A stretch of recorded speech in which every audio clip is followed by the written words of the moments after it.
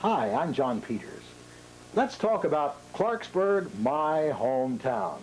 Clarksburg was established in 1785 and was named for General George Rogers Clark.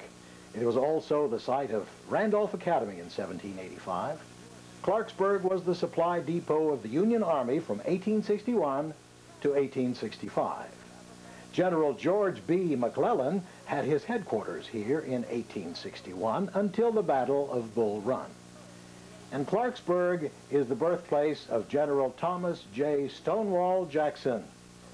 After a brilliant Mexican War record, he joined the Confederacy in 1861, earned his nickname and advancement in rank in the First Battle of Bull Run, and he was killed at Chancellorsville. Clarksburg, the hub of public offices, businesses, and industry, was named the county seat on July 20th, 1784 by the Harrison County Court. And in the late 1940s, I shot some 16 millimeter footage of downtown Clarksburg, which I tried to save for posterity, but unfortunately I was only able to salvage just a short, short portion of several hundred feet of that film. Most of it deteriorated due to improper storage. I have a few minutes of the film which was transferred to videotape. And here are a few scenes. First of all, an overhead shot of Main Street looking from 4th Street to 3rd Street, starting at the Empire Bank. Now, these shots go back to 1948 or thereabouts on a Saturday just before noon. Now, you'll notice the usual crowd of watch and knife swappers on the courthouse plaza, an event that took place very frequently back then. I understand they came from several sections of the county to participate. And then you'll see an ambulance whiz by on his way to pick up a victim of an accident. The area where you'll see the small group of onlookers at the accident scene is at the spot where the Go Mart at the foot of Bridgeport Hill is currently located, right across from uh, Twin Oaks Restaurant. And then we go back to downtown Clarksburg, where we take another look at Main Street from the corner of 3rd and Main Streets. Now, at the end of this first segment, is a short sequence showing the first Capital Airlines passenger service flight to Benedum Airport. The person doing the honors of christening the Capital liner named Clarksburg is Mrs. Louis A. Johnson. Okay, let's roll that tape.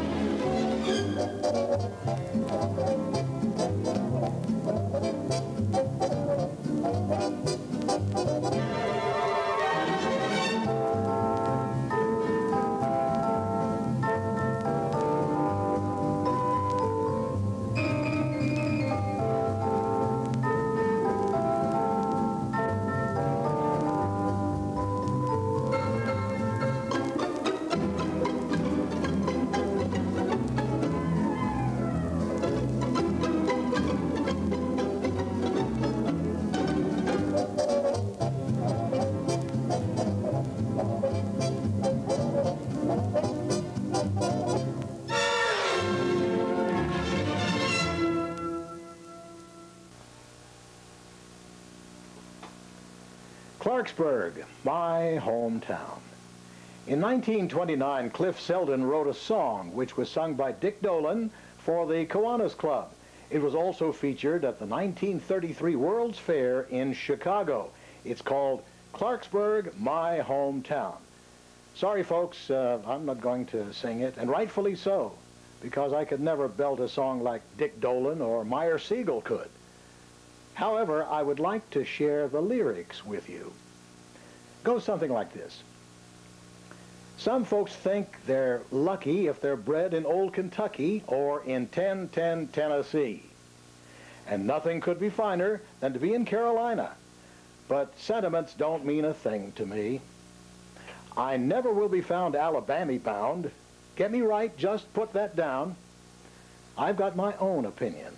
I'm a true blue West Virginian, and Clarksburg is my hometown. Clarksburg, pride of the mountain state. Clarksburg, birthplace of heroes great. When the band plays Dixie, how my heart thrills. To me it just means Clarksburg, the jewel of the hills. There's where they smile when they greet you. Everybody's tickled to meet you. All of my days I'll be singing the praise of Clarksburg, my hometown. Clarksburg, we produce coal and gas, tin plate, marbles, and window glass. There's not a better town on the old B&O. We're chuck full of pep and rarin' to go. The West Coast has uh, climates and earthquakes. Florida, mosquitoes, and big snakes. We don't give a darn. We've got chicken and corn in Clarksburg, my hometown. There's where they smile when they greet you. Everybody's tickled to meet you. All of my days I'll be singing the praise of Clarksburg, my hometown. And now I'm going to show you a film of the original Coca-Cola bottling plant in Clarksburg, founded by the elder Thomas Lee. I'm told the beginning of this film dates way back to pre-World War I days. Matter of fact, the date on the building on 5th Street, uh, which is still standing, has the year 1914 at the top. The segment progresses to the 40s and 50s. Okay, now, watch this.